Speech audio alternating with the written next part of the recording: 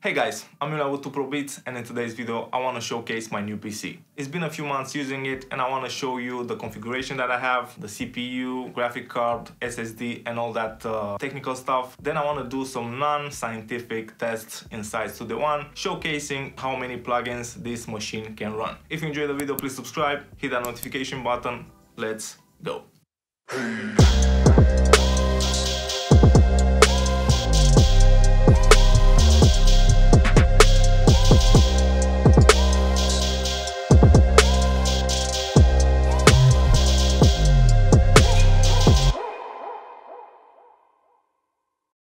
So as you can see, this is a Windows-based uh, system. I have an AMD processor, 32 gigabytes of RAM, now let's go more in depth and let me show you exactly what I have on the system. I'm gonna bring up a screenshot of the actual order that I've placed for this PC. So this PC is custom build. I've chosen the parts, the shop uh, assemble it. So let's start with the first thing, the case. The case is a fractal design uh, defined R5 titanium with a window. It has soundproofing, so it's a pretty nice uh, case. I don't have any issue with uh, noise with it. Next, as you can see, I've purchased a legit copy of Windows. I'm gonna talk about the SSD later in the videos. Now let's focus on the other parts. For the memory I went with uh, Corsair Vengeance, 32 gigabytes of RAM. That's more than enough for mixing. The power supply is Seasonic Focus Platinum. This is a pretty powerful uh, power supply because the CPU needs a lot of power, the graphic card needs a lot of power. The motherboard is from MSI. This is probably the cheapest alternative alternative for this uh, CPU socket. The CPU is an AMD Ryzen Threadripper. It has 16 cores, 32 threads. It's a really powerful uh, CPU. Graphic card is an MSI GeForce RTX, the new series, the 2080. This is the overclocked version with 8 GB of uh, RAM. Then I have a few coolers. This uh, build is uh, air cooled. I'm using some uh, fractal design coolers for the case and for the CPU I'm using Cooler Master Master Air, the edition for this specific socket. So this is the exact build that I have inside the case. So in terms of storage, I have a few SSDs uh, installed in the machine. The first one is just for the operating system. It only has 250 gigs. I use it for the operating system and for the software that I have installed. So the operating system is the cheapest. I really don't need the fastest SSD for the operating system. The next one is in the middle in terms of price and performance. I use this to keep most of my files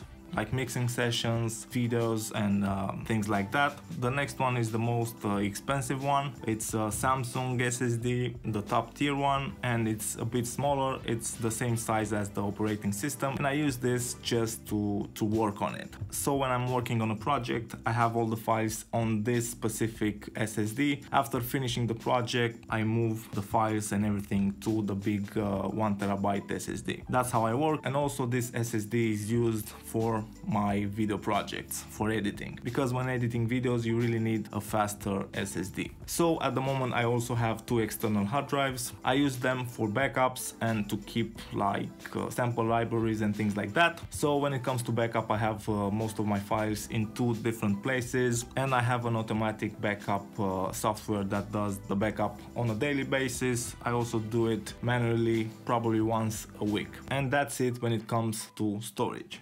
Now that we have all that stuff out of the way, I want to do a couple of tests. Inside Studio One, I want to see how much CPU power I have with this new build. On the screen, I have the performance monitor from uh, Studio One and also I have the task manager. So the first test, stock plugins. Let's see how many stock plugins can I use inside Studio One. Let's build like a channel strip. Let's add an EQ, engage a few bands just like this. Let's add a compressor, something like this. Let's also add a room reverb and let's add a delay. Let's say analog delay. I will add just a hi-hat sample, just like that.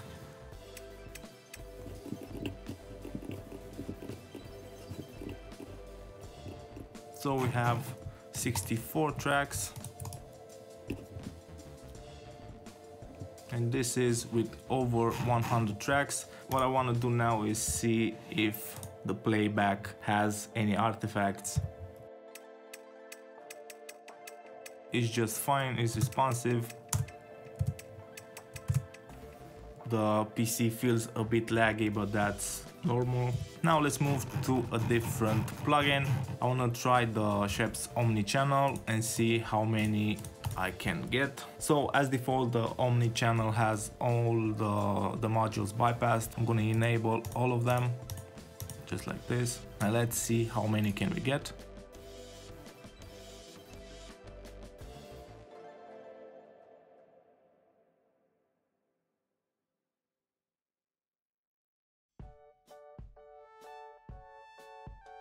So we're at 128 and the CPU load is pretty low. So the Omni channel is pretty amazing when it comes to optimization inside Studio One. Over 100 channels of filters, gates, uh, de-essing, EQ, compressors. So that's crazy. The playback is it's just fine. Everything feels responsive. Now I'm gonna try and duplicate one more time let's go over 200 tracks. The only problem is that it takes a lot of time duplicating all the tracks. Let's go.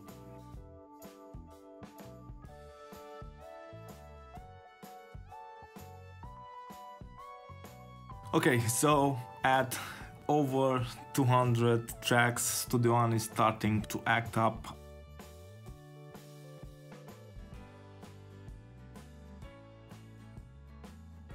Now let's try with a few FabFilter plugins. I wanna add an EQ. Let's open up a preset. Let's make it dynamic, why not? Like for vocals with a lot of EQ points, a compressor, a reverb, and why not some saturation.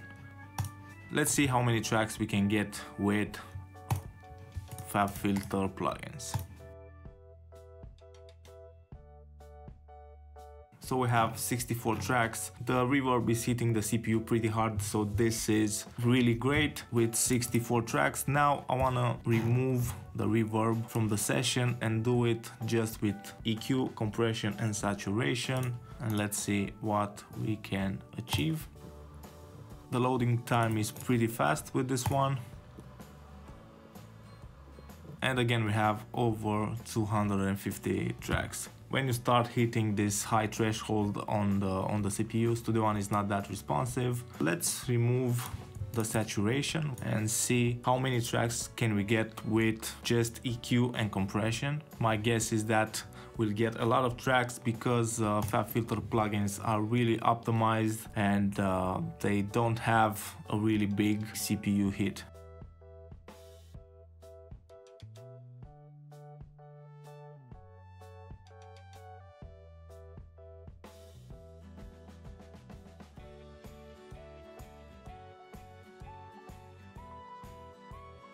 So right now in Studio One I am at 100% CPU use with FabFilter Pro Q3 and uh, Pro C2. I wanna see with how many tracks Studio One is stable with uh, FabFilter plugins. Now with this sort of load the project is really slow and uh, you cannot work in these uh, conditions. As you can see, we have a difference between the CPU meter in uh, Studio One and the one in Task Manager. Let's take out a few tracks. From my experience, when you are around 80% in Studio One, the project works just fine. When you go above that uh, 80%, things are starting to move slower, the project feels slower and clunky. You have to keep that in mind. With 800 tracks, the project still is not feeling great.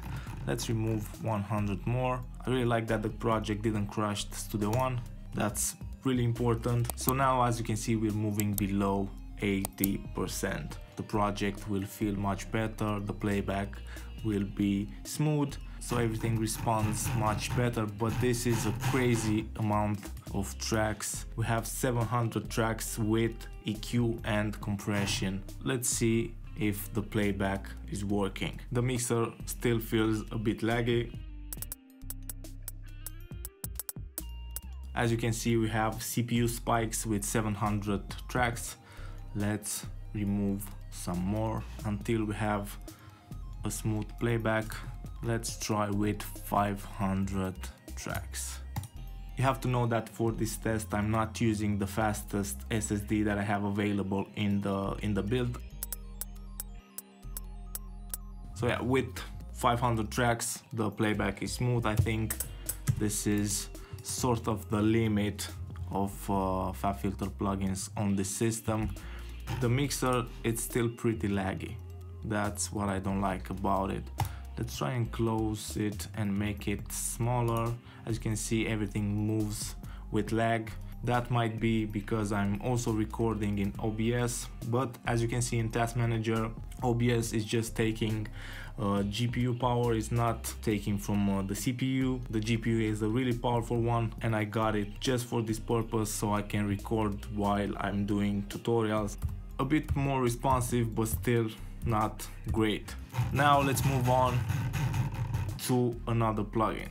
So even removing 500 tracks from the project takes a bit of time in uh, Studio One. Next I want to try a few plugins that I know that they use a lot of CPU. For instance, Soothe with uh, oversampling on and with uh, high resolution. I want to see how many I can get in a project.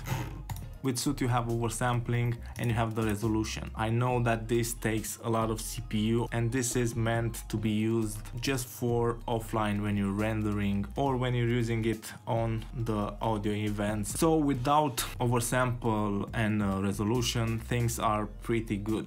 Let's see if I increase the oversampling. It increases the CPU load, but with the ultra resolution, you can already see that this is pretty crazy.